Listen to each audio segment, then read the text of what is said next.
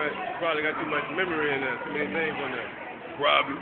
That's something about to upgrade, boy. I'm about to upgrade to that 4G. Uh-huh. What?